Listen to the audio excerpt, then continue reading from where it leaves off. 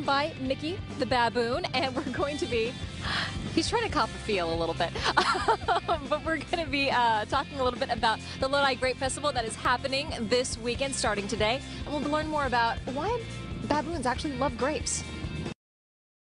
He's trying to cop a feel a little bit, but we're going to be uh, talking a little bit about the Lodi Grape Festival that is happening this weekend, starting today, and we'll learn more about why baboons actually love grapes little bit.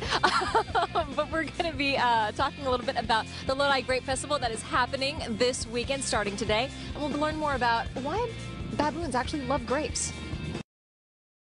He's trying to cop a feel a little bit, but we're going to be uh, talking a little bit about the Lodi Grape Festival that is happening this weekend, starting today, and we'll learn more about why baboons actually love grapes.